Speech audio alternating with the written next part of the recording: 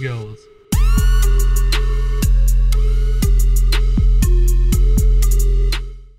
What's up guys? It's your boy Jay here back again with another video. So you might remember the last time that you saw the Mustang, it had an issue with the coolant leak, right? So, well, I brought it to the dealership because I have this coverage that if it is a water pump, they'll fix it for free. And it turns out, yeah, it's a water pump. So now I'm just off work. I'm just about to go pick up my brother and then we're gonna go pick up the Mustang. Alright guys, so I just got home.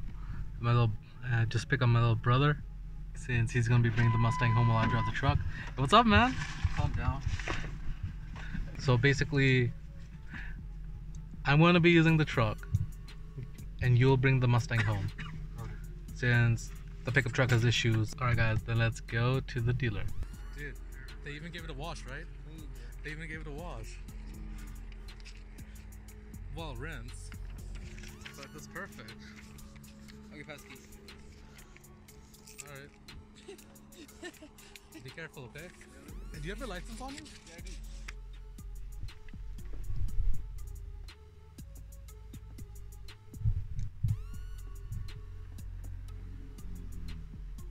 And there he goes. Alright, I guess let's go home too.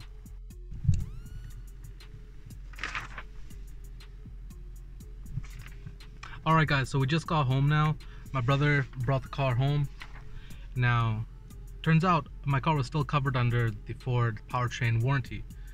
Which means that I purchased the extended warranty for no reason. Yeah, I guess it'll work out after this year because it only has like a couple more months I guess I think it's a five year warranty I'm not sure probably have a look while I upload this video.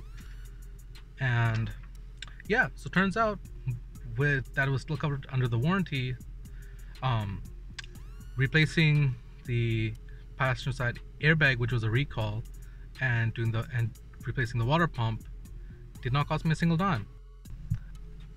All right guys so i know so i know this video was a little bit short but i'm trying to upload more videos so if you like this video even if it was a bit short please hit the thumbs up button comment and subscribe to the channel so i know that you want to watch more of these videos.